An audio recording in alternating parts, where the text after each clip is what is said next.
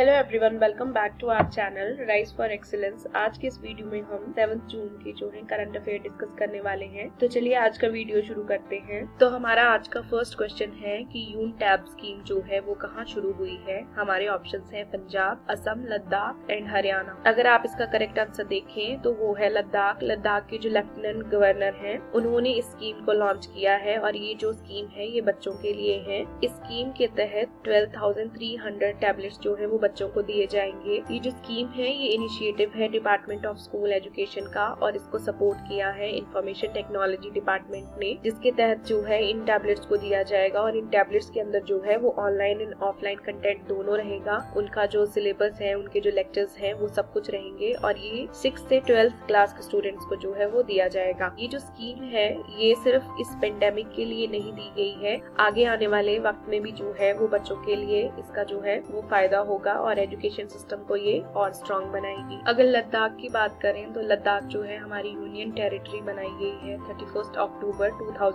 में। इसके जो गवर्नर है वो है आर के माथुर अगर लद्दाख के कुछ फैक्ट्स देखें तो आप देखेंगे की लद्दाख में जो है वो लार्जेस्ट टेलीस्कोप जो है वो पाया जाता है एशिया का। यहाँ पे जो है ग्रेविटी फेल हो जाती है मतलब आप ग्रेविटी महसूस नहीं करते हैं। और यहाँ पे जो है वर्ल्ड का हाईएस्ट ब्रिज पाया जाता है। इस लैंड पे जो है आपको कैमल्स मिलेंगे जो कि ट्विन हम्प्ड होते हैं, उनके दो हम्प होते हैं। और यहाँ पे जो है highest natural ice hockey rink भी है। यहाँ पे जो लेक्स हैं, वो जम जाती है और फिर वहाँ पे जो है वो हॉकी खेली जाती है। तो लद्दाख में जो है ऐसी बहुत सारी फैसिनेटिंग चीज़ें हैं जो देखने वाली है। तो आप यहाँ जो है वो ट्रेवल कर सकते हैं। हमारा नेक्स्ट क्वेश्चन है कि किस आईआईटी ने जो है वो डेवलप किया है ओरल सोल्यूशन ब्लैक फंगस के लिए। तो हमारे ऑप्शन है I I T Ropar I I T Madras I I T Hyderabad and none of these तो इसका करेक्ट आंसर है IIT Hyderabad, Indian Institute of Technology Hyderabad ने जो है इसको डेवलप किया है और ये जो है, ये ओरल टेबलेट्स हैं, जिनका नाम है एम्फोटेरिसिन बी ये जो है ब्लैक फंगस के इन्फेक्शन को कम करने के लिए काम आएँगी। अभी जो ये टेबलेट्स हैं, ये सिक्सटी एम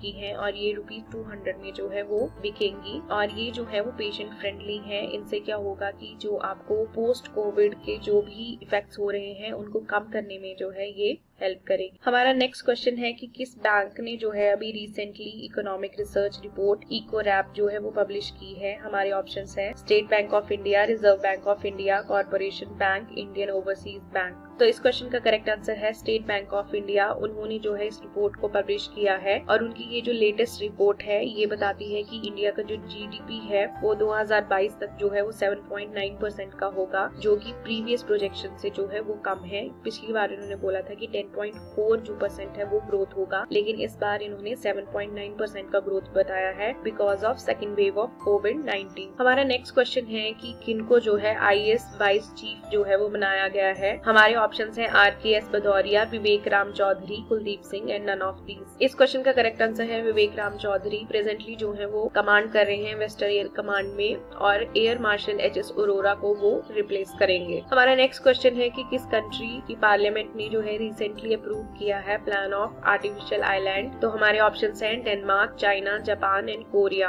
तो इस क्वेश्चन का जो है करेक्ट आंसर है डेनमार्क इन्होंने जो है ये अनाउंस किया था वर्ल्ड एनवायरमेंट डे के ऊपर और इनका मानना है कि ये कंट्री का सबसे लार्जेस्ट कंस्ट्रक्शन प्रोजेक्ट होगा। इसमें जो है थर्टी फाइव थाउज़ेंड पीपल को जो है अकोमोडेशन होगी रहने की। एंड इस आइलैंड का जो है वो नाम दिया गया है लेनेटो होम अगर डेनमार्क की बात करें तो डेनमार्क जो है वो स्वीडन के पास है। इसकी जो कैपिटल है वो है कोपन और इसकी जो करेंसी है, वो है डैनिश क्रोन अगर आप देखें तो डेनमार्क भी जो है, वो अपने डिज़ाइन एंड आर्किटेक्चर्स के लिए जो है, वो बहुत फ़ेमस है. और यहाँ पर जो है आइकनिक जो स्टैच्यू है लिटिल मरमेड वो आपको यहाँ पे मिलेगा. हमारा नेक्स्ट क्वेश्चन है कि सीबीएसई ने रिसेंटली जो है, किस कंपनी के साथ कोलैबोरेट किया है, ताकि सिक्स और एट्थ क्लास के लिए जो है कोडिंग करी कोडिंग करिकुलम जो है, वो इंट्रोड्यूस किया जा सके. हमारे ऑप्शन है Google Wipro H and Microsoft तो इस क्वेश्चन का करेक्ट आंसर है माइक्रोसॉफ्ट माइक्रोसॉफ्ट ने जो है वो सीबीएसई के साथ टीम अप किया है, ताकि बच्चों को जो है कोडिंग एंड डेटा साइंस जो है वो सिखाई जाए। तो 2021 के एकेडमिक ईयर में जो है बच्चों को ये सिखाया जाएगा। क्लास सिक्स से जो एट तक बच्चे हैं, उनको जो है वो कोडिंग इंट्रोड्यूस कराई जाएगी और एट से ट्वेल्थ के बच्चों को जो है वो